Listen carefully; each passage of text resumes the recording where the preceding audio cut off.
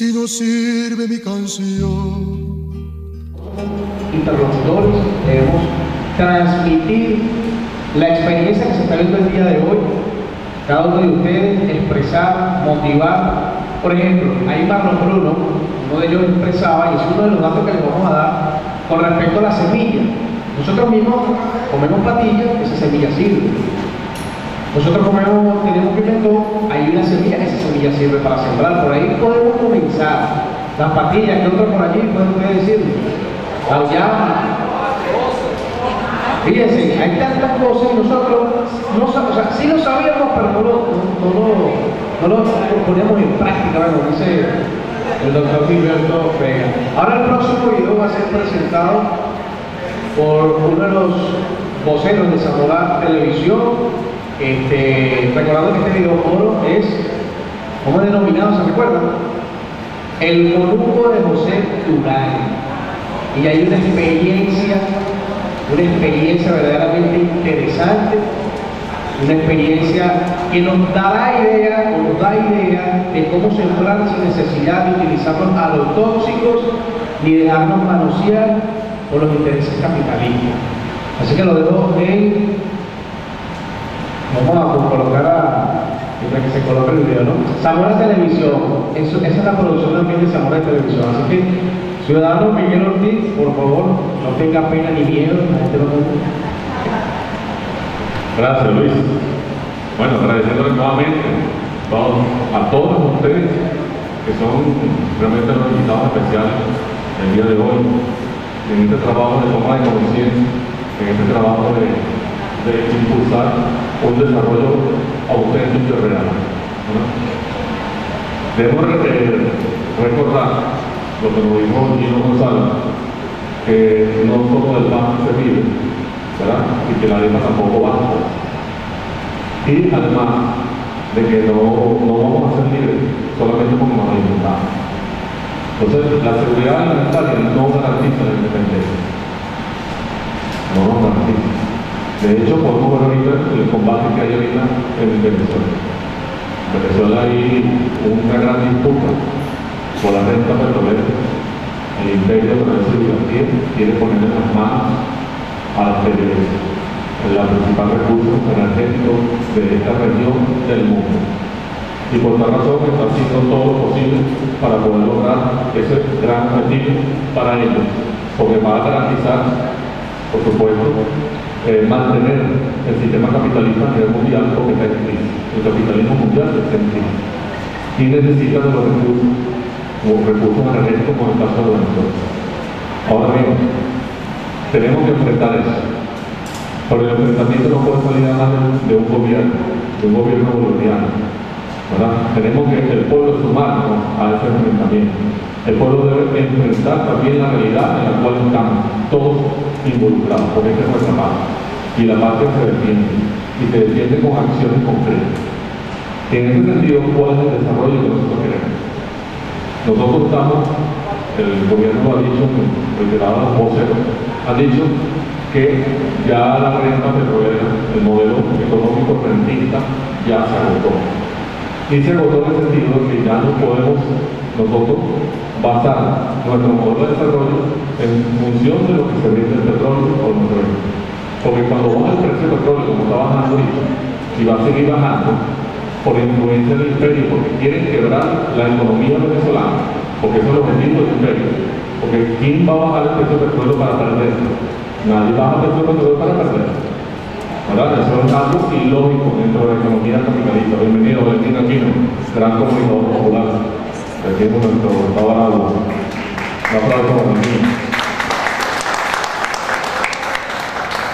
Gracias, Bueno, entonces mira, en ese sentido, nosotros tenemos que sumarnos como pueblo.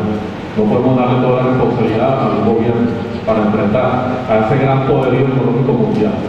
Ahora nosotros tenemos que sumarnos un desarrollo y el desarrollo en nuestro municipio de Zamora tenemos grandes potencialidades. En Zamora, por ejemplo, no tenemos petróleo, no tenemos hierro, no tenemos grandes industrias. ¿Qué es lo que tenemos nosotros en nuestro municipio para poder utilizarlo como motor económico? Tenemos tierra y de las mejores tierras de Venezuela. Están aquí en nuestro municipio Zamora, en los valles de Tahualpay, en los valles de Tucutunemo. Es allí donde tenemos nuestra fortaleza, en la producción agrícola, en la producción de alimentos. Nuestro municipio Zamora puede aportar al país grandes cantidades de alimentos. Esa es una realidad que está allí. ¿Y por qué entonces no ocurre? ¿Por qué Zamora no produce alimentos como debería producir? ¿Qué es lo que está pasando? Entonces lo que está pasando es que enfrentar. Porque estamos en una situación sumamente crítica. Y para poder resolverlo necesitamos sumar todas las voluntades. Pero esa voluntad tiene que estar direccionada. Porque no se trata de un desarrollismo económico capitalista, de que nosotros montemos aquí un proceso de, de explotación de la tierra, maltratando al campesino, maltratando a un productor, ¿verdad? Dándole, por ejemplo, un agrotóxico para que le echen la tierra y ese agrotóxico le entra a la sangre a la persona y entonces le afecta a su salud. Porque eso sería contradictorio a lo que nosotros estamos luchando por un modelo de desarrollo humano. Eso sería contradictorio a un desarrollo socialista. Si nosotros sabemos que los agrotóxicos dañan a la salud del ser humano, nosotros no podemos promover una producción agrícola que tenga como insumo los agrotóxicos. Porque además, históricamente Villecura ha sido víctima de los agrotóxicos. Hemos sido víctimas de grandes industrias que se han colocado aquí, que lo que hacen es producir químicos y químicos y nos tienen contaminando. La última que se instaló, Puro ¿verdad? Se le ha llamado la atención Puro en reiteradas ocasiones. Por las quemas que están haciendo, no utilizan los filtros. Es decir, no hay un control sobre los procesos industriales y por tal razón eso se revierte en la salud de la población. Ahora bien, nuestro amigo estaba recordando el incidente que ocurrió el 10 de junio, el 10 de, perdón, el 2010, el 14 de junio, de esa fecha, donde Villa de se, se ubicó una nube tóxica. Todo Villa de se les depositó una nube tóxica que fue expulsada de uno de los tanques de agrotóxicos de la empresa Cefloa.